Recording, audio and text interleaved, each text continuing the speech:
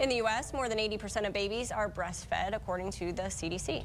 NTV's Taylor Leverett joins us with today's Vital Signs, exploring why some moms may stop. Taylor.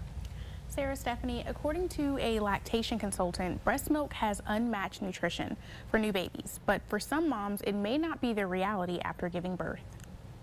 That milk is really, really thick, so when we see that jaw move, the biggest misconception is we think that breastfeeding is very natural, so it comes easy, and it's not.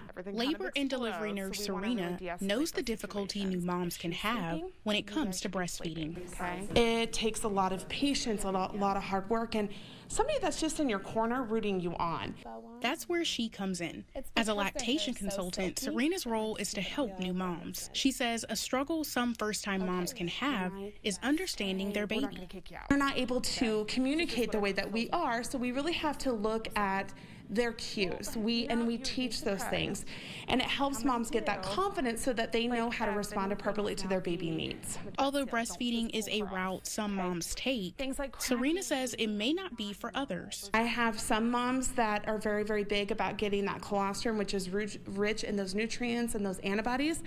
And I have some moms that have continued to breastfeed for years. It just kind of depends on what's beneficial for the family. For new mom Jayde Tech, breastfeeding wasn't an easy start. Her message to moms that are struggling Don't get frustrated. I got really frustrated the first time I did it.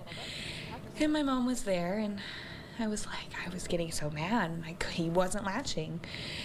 And then I got some help, and it was really nice. Once he latched, and I could feel it, and I knew that he was okay, it felt really good. So just ask for help.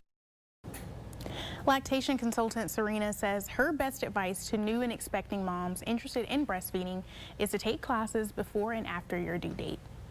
And after you go back to work, there's a whole new host of challenges. so yeah, we, we're with you, girl.